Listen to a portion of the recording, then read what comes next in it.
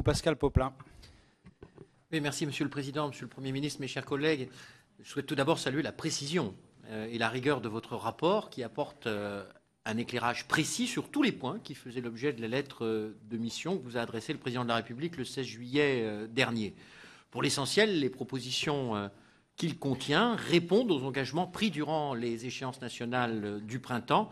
Elles emportent largement, à ce titre, l'agrément des membres du groupe socialiste républicain et citoyen. Mais je veux Néanmoins, m'exprimant à titre personnel, dire ici, parce qu'il faut bien à un moment donné que les choses soient dites, euh, que nous sommes un certain nombre à ne pas partager euh, les réponses euh, proposées en matière de limitation du cumul des mandats.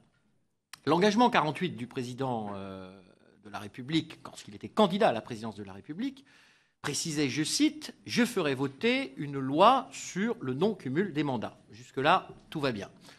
Je regrette que la Commission ne s'en soit tenue qu'à la question du cumul des mandats des parlementaires et des membres du gouvernement, même si, je vous le concède, tel était le cadre que fixait euh, votre lettre de mission. Il me semble qu'il s'agit là d'une vision pour le moins réductrice d'un sujet pourtant d'ampleur.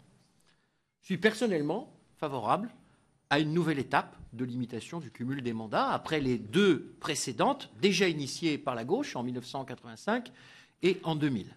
Mais j'ai la conviction que pour bâtir utilement cette nouvelle étape, il convient de fixer clairement des objectifs précis que l'on assigne à cette réforme, qui ne peut se concevoir comme une forme d'automutilation expiatoire des responsables politiques qui seraient soucieux de se faire pardonner des avanies qu'à mon sens, pour le plus grand nombre, ils ne commettent pas. Je vois, pour ma part, deux principaux objectifs à une nouvelle étape de la limitation du cumul des mandats.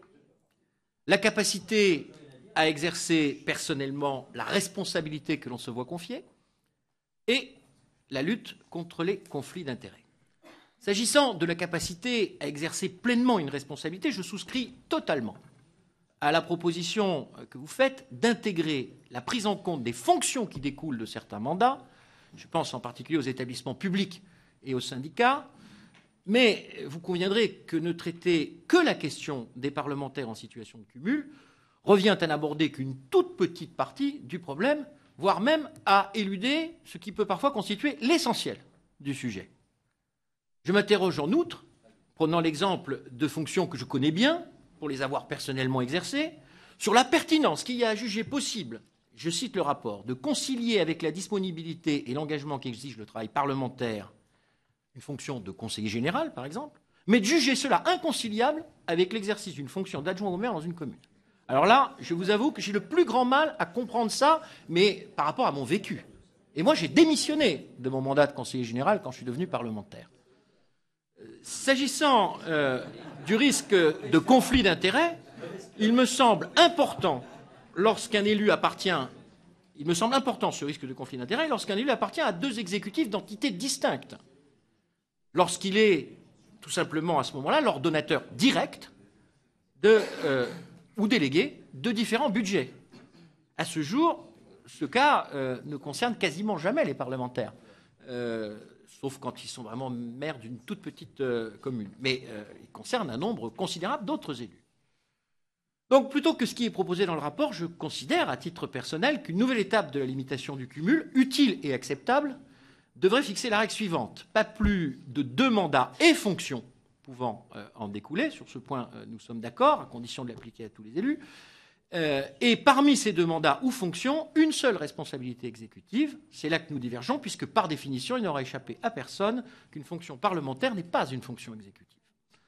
D'autres, d'aucuns prétendront qu'il eût été plus simple de retenir la solution du mandat unique et d'appuyer leur raisonnement sur les sempiternels exemples étrangers. Vous avez vous-même parlé tout à l'heure d'exception française, j'y reviendrai. J'observe que euh, cette solution n'a pas été retenue dans le rapport, même s'il ne m'a pas échappé, vous, vous, y avez fait référence, que certains membres de la Commission l'auraient volontiers souhaité. Il s'agit sans doute d'un objectif à fixer pour euh, l'avenir. Comme euh, le bâtisseur d'une maison envisage le matériau qu'il emploiera pour réaliser sa couverture. Mais avant de penser au toit, il convient de ne pas négliger les fondations. Et de mon point de vue, les fondations en la matière ont pour nom renforcement des pouvoirs du Parlement, qui devra aller bien au-delà de la réforme de 2008 citée dans le rapport, pour que le Parlement français soit comparable à ceux des pays cités en exemple en matière de cumul. Je termine. Véritable autonomie fiscale des collectivités territoriales. Et de ce point de vue, l'exception française vaut au moins autant que celle du cumul. Et statut de l'élu, en particulier de l'élu local. Alors le rapport termine ses conclusions euh, par là. Euh, il souligne même l'urgence euh, de cette question du statut de l'élu. Mais à ce jour, tout porte à croire que nous risquons bien d'en rester encore longtemps au stade de l'intention. Et pourtant, convaincre qu'une démocratie irréprochable a un coût et doit même être capable de motiver les meilleurs pour son service est au moins aussi important pour redonner confiance aux Français dans leurs institutions que de franchir une nouvelle étape nécessaire dans la limitation du cumul des mandats et des fonctions.